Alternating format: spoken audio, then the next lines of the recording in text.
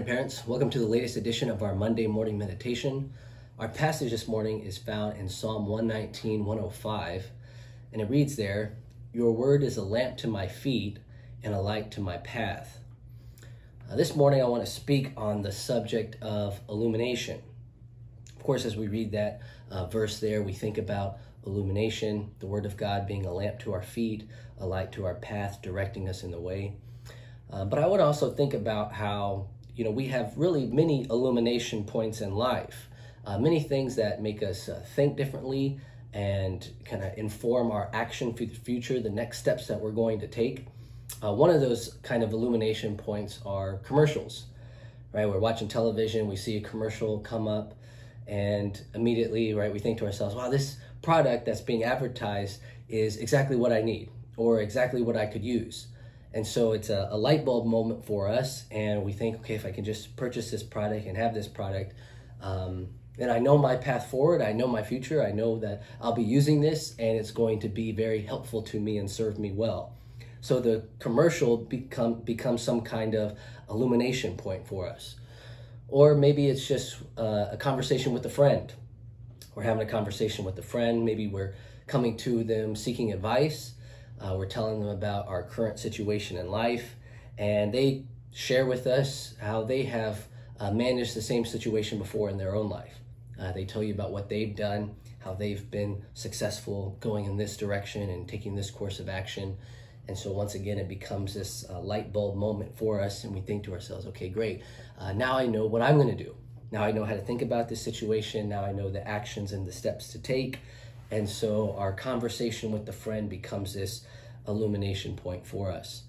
As we just think about life and the world, we think that there are all kinds of illumination points out there. We've talked about commercials, uh, our friends. Well, there's the internet, right? There's the world, there's coworkers, uh, there's family. Uh, are so many opportunities that we have to receive illumination and insight. But the question that we want to ask ourselves is this is well, how often is it the Word of God that is my illumination point? How often is it, it that it's God's Word that is forming and shaping my thoughts and that is telling me my course ahead and the path that I'm going to take in the future? Uh, before we know, there's, there's, there's tons out there. Uh, there's tons of other directions that we could take. But of course, as Christians, we want to make sure that, okay, it's the Word of God that is my main source of illumination and direction for my thinking and for my life and for my future ahead. And one of the ways that we get there is well, how do we make that a true reality within our lives? Uh, one of the ways that we get there is just remembering uh, the treasure that God's Word actually is. So we learn here, of course, that it's a lamp to our feet and a light to our path. Uh, what's being communicated then is right without the word of god that we actually we walk in darkness.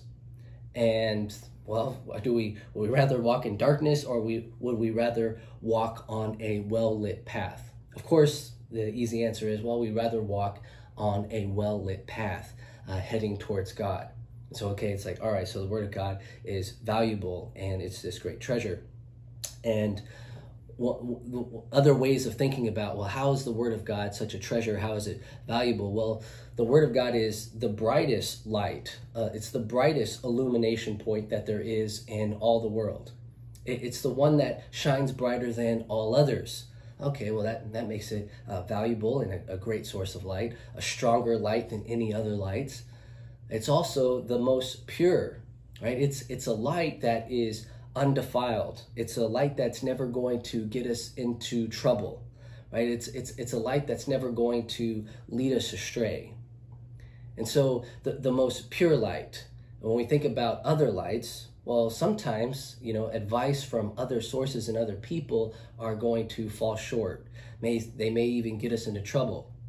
Or beyond that, right, when we think about other sources of light and illumination points, they're always limited, they're limited in knowledge because it's human knowledge.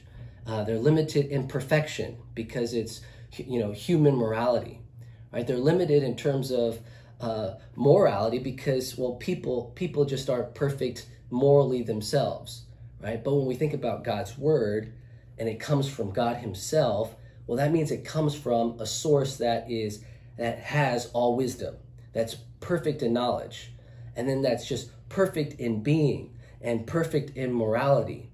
And so God's word then is this pure source of light, the brightest, the most pure, and it's also a light that will never get us into any trouble with God. And so that's a, another pretty big one, right? Other illumination points have the potential to get us in trouble with God. They may be helpful in some ways, uh, hurtful in other ways. They may lead us astray uh, from God. But God's word will, will never get us in trouble with God. And in fact, of course, we know that God's word will take us to God and will draw us closer to Him uh, just in relationship. And so uh, God's word never leads us away from God and it never gets us into trouble with Him. So these are three things that we can think about in terms of why God's word is such a treasure and so valuable. One other thing I want to say real quick is this is that uh, the word of God it just doesn't tell us like where to go, but it also tells us what to avoid. Right? And so like it's this well-lit path, it's a lamp to our feet, a light to our path that where we can see obstacles in the way. We can see pitfall, we can see danger, we can see, you know, holes in the road, uh, things that we're meant to avoid. Things like unforgiveness or the love of money or the love of the world, sexual morality, envy, greed, lust, right? All these things, uh, the Word of God illuminates for us, and it's like, okay, I, I should not go down in that direction. I should not take that path. And so the encouragement that I want to give us and remind us today is, right, let the Word of God be our illumination source. Of course, when it comes to parenting, right, let God's word be the illumination source for our parenting, showing us how to think, how to act, how to set the course of the future for ourselves and for our children. Let God's word be that illumination point for us.